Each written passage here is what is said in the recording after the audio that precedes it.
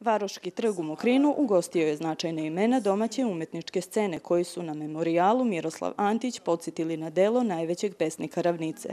Zvuci tambure najsmislenija su pratnja vanvremenskih stihova, ali i sjajna podloga za priču o čoveku koji je bio više od poete. Više se zna zahvaljujući poeziji, plavom čuperku, ali to što on pisao isto prozu, to je, ma ne samo pisao, šta je i ukupno radio jedan prebogati, prebogati darom čovek.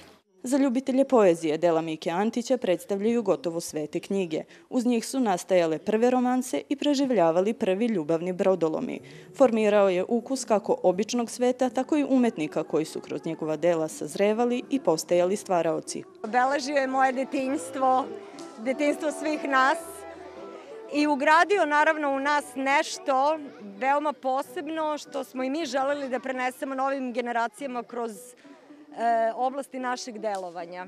U poslednje vreme sam otkrio e, njegovu eseistiku, pošto je pisao za dnevnik i to mi je uzbudljivo bilo da čitam i to, eto, u poslednje vreme se, što se tiče njegovog stvaralaštva, e, inspiriše mi, mislim, stvarno je imao jako dobre uvide kada je analizirao glumce, pozorište, slikare.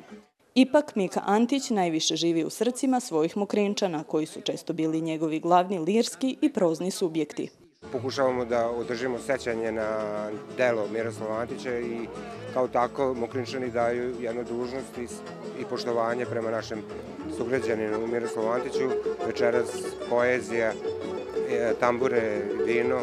Memorijal Miroslav Antić organizovala je mesna zajednica Mokrin pod pokroviteljstvom Pokrajinskog sekretarijata za kulturu, javno informisanje i odnose sa verskim zajednicama.